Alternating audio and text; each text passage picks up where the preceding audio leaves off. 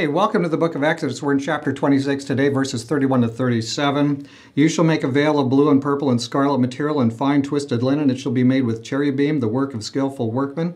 You shall hang it on the four pillars of acacia overlaid with gold, their hooks also being of gold, of four sockets of silver. You shall hang up the veil under the clasps, and shall bring in the ark and the testimony there within the veil, and the veil shall serve for you as a partition between the holy place and the Holy of Holies. You shall put the mercy seat on the ark of the testimony in the Holy of Holies. You shall set the table outside the veil, and the lampstand opposite the table on the side of the tabernacle toward the south, and you shall put the table on the north side. You shall make a screen for the doorway of the tent, blue and purple scarlet material and fine twisted linen. That's what the screen's made out of, the work of a weaver. You shall make five pillars of acacia for the screen and overlay them with gold. Their hooks also shall be of gold, and you shall cast five sockets of bronze for them. So here's some more instruction about the inside of the tabernacle and a division between the most holy place and the holy place. Interesting here, this business about the cherubim. What is a cherubim? Cherubim is one of the varieties of angels. The Bible talks about seraphim, cherubim, and there's different orders of angels, at least some.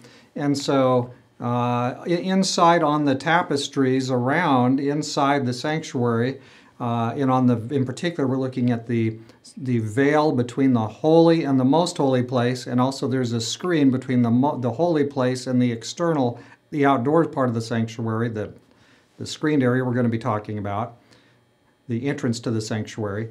Uh, those screens or or doors or tent divisions have cherubim on them, and everything inside the holy place has is woven with all these colorful, and then in the cherubim. So there's representations of angels there all over on the walls and on the ceiling.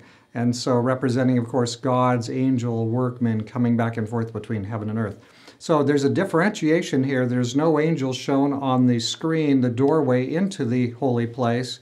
But between the holy place and the most holy place, there are angels represented there. Why would there be some in one and why not some at the other? Well, remember, the angels, they work directly for God. They are directly interacting with humans and going and coming on God's commands.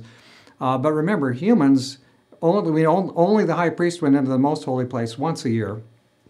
And the uh, ministry of human priests, they came in through the door, and they had to come in through the door. So that's probably why there's no, I infer this, that's why there would be no cherubim on that door because this is this is where the humans look in or come in.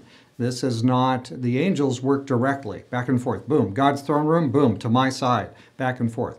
But the humans, they do their ministry through the sanctuary system and with the sacrifices and the laver and so on, which we haven't talked about yet. And then they come in and would put some of the blood, minister it into the holy place.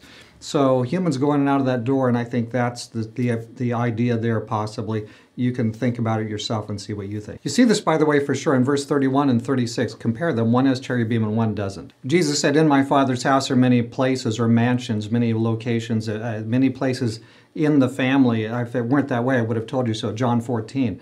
And so uh, a human mediation. We want priests to be going in and out of that location to minister the blood, the, the holy place anyway.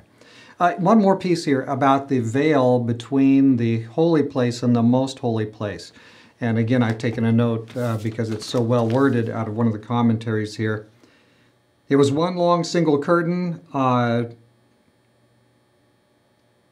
it was one long single curtain. It was not a divided curtain that could be opened easily. To get past it, one would have had to move at least one of the poles in, on either side and go around it because it was not designed to be gotten past under normal conditions.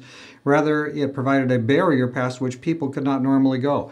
The, the, the high priest the, even the high priest did not randomly go into the most holy place. Once a year he would go in, and probably very reluctantly even then, because that's where God's presence is. He is not allowed to just randomly go in. He did not go in there and eat lunch. Okay, the the the most holy place was off limits, and the high priest only could go in once a year only in his duties and he was i'm sure he made that a minimum thing i'm in i'm out i'm doing my faithful business i'm not looking around not hanging out here uh, god is holy. I'm a human priest. I want to do my business and get out because god is holy. And they had a true reverence a true respect for god. But today you know i think if we if it was left up to us a lot of us would uh, just go in and you know slap his back. Hey god here i am. We're just we're just both brothers. Well we are brothers. We are his brethren but we don't slap God on the back. God is the creator, we are the creatures, He is infinite, we are finite. Let's remember our place. When the angels are in God's presence, they veil their faces, they look down. Uh, remember that. We looked at that already. So let's remember to have a, a true reverence for our God. All right, see you tomorrow morning.